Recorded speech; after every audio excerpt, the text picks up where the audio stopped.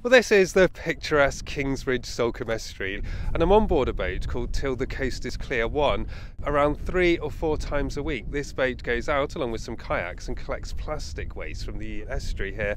And a lot of it actually ends up naturally in this kind of cave, I guess you call it, around here because, because of the way the wind and the tides work.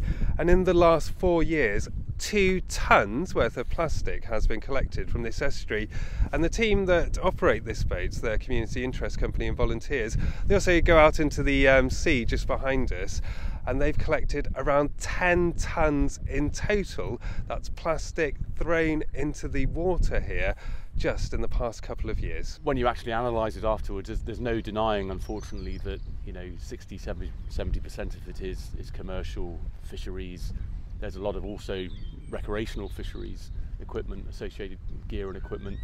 Um, a lot of it is also just everyday single-use throwaway plastic, you know, snack wrappers, coffee cups, single-use plastic bottles, all the kind of usual things you'd expect to find, you know, in the countryside as well. We routinely would fill the boat up on trips. Now I'm really pleased to say that when we go out, it's more sort of maintenance. So we, we walk the strand lines and go to a few places where we know stuff congregates and yeah, you'll fill up a bag or two, but nothing like the quantities that were here.